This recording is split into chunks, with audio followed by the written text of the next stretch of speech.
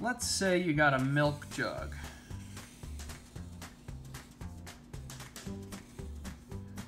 And it's got a cap on it.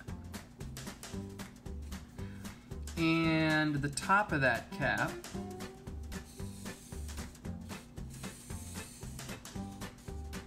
is 27 centimeters off the ground.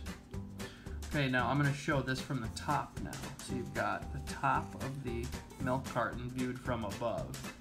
Now let's say you rotate this one time, like you're twisting it off, right? You're twisting this off. You rotate it one time,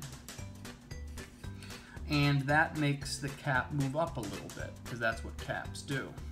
So let's say it makes the cap move up to here, and that now is 28 centimeters, okay? Now let's say you turn it again, so that's two turns, and the cap rises up a little bit more.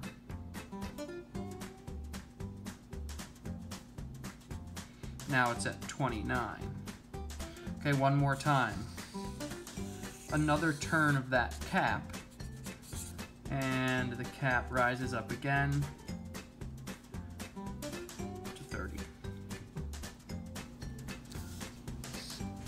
If x is equal to the number of turns, and f of x is equal to the height of the top of the cap. Let's say you've got a walkway and you want to line it with bricks. So you lay a brick down and each brick is six inches long, six inches. So one brick, six inches long. You lay another brick, now it's 12 inches long total, right? You lay another brick, it's three bricks, and now we've got 18 inches. You lay another brick, and that now is 24 inches. If x is equal to the number of bricks and f of x is equal to the total length. Here we've got a mechanical pencil. One click on the eraser top makes the lead stick out one millimeter. A second click makes the lead stick out two millimeters. A third click makes the lead stick out three millimeters.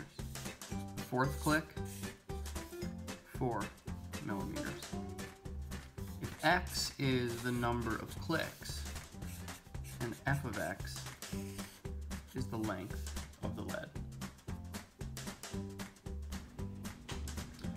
All right, let's say you've got a rope. And that rope starts off at 42 inches long. Now you're gonna take that and you're gonna tie a knot in it, okay? So because of that knot, it gets a little shorter. In fact, it gets one inch shorter. So now it's 41 inches.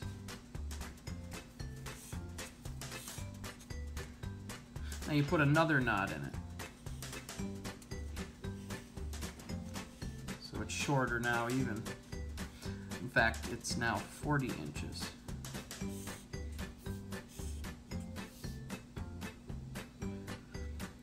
If x equals the number of knots,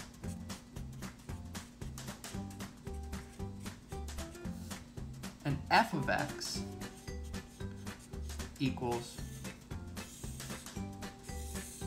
the length of the string.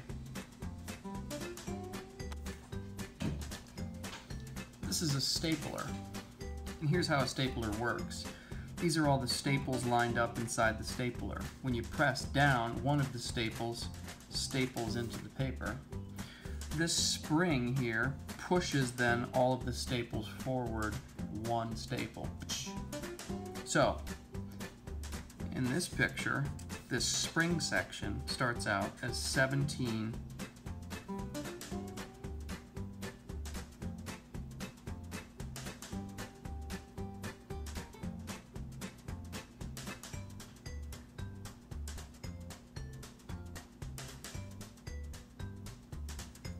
in this picture, it starts out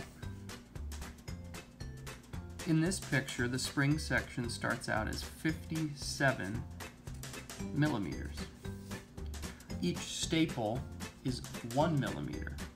So after one stapling, this actually changes to 58 millimeters because one staple gets removed and this pushes forward one millimeter. So that's after one staple. After another staple, that's two, this moves to 59 millimeters. And after a third staple, this moves to 60 millimeters. If X is the number of staples, and f of x is the length of the spring section.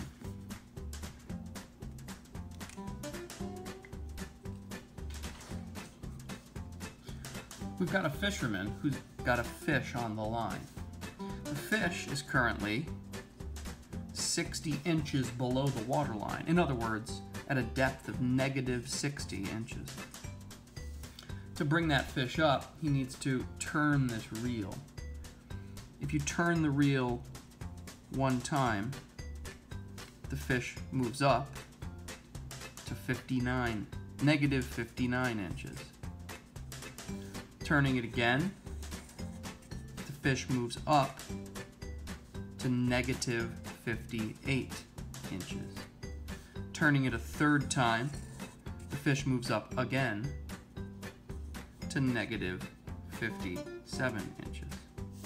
If x is the number of turns of the fishing reel, then f of x is the depth of the fish. Okay, in this situation, we've got a bucket hanging from an elastic rubber bandy type of thing, okay? And when the bucket has three golf balls in it, we've got a length of the elastic at 37 millimeters. If we add a, another golf ball, like four golf balls, that elastic moves to 38 millimeters because of the extra weight. If we add another golf ball, now there's five golf balls, we've got uh, 39 millimeters. And if we go all the way up to six golf balls, that elastic string goes to 40 millimeters. So if X is the number of golf balls, and F of X is the length of the elastic. Let's say we got a piece of paper laying flat. And that piece of paper is 0.5 millimeters thick, very thin. Now we're going to take that piece of paper, we're going to fold it in half right here. So we're going to take it and fold it. So what that's going to do is it's going to add a second layer. So now this piece here is twice as thick. Now this is one millimeter thick. So one fold, uh, now it's one millimeter. Zero folds was this. Now we're going to take that and fold it again right here. So now we're going to fold it like this. And so now what we get is these four layers. So now that four layers, after two folds, we have something that is two millimeters thick. Now we're going to do the same thing, fold it again. Now we'll have eight layers. And after three folds, now we've got something that's four millimeters thick and so on. If x is the number of folds, and f of x is the thickness of the paper.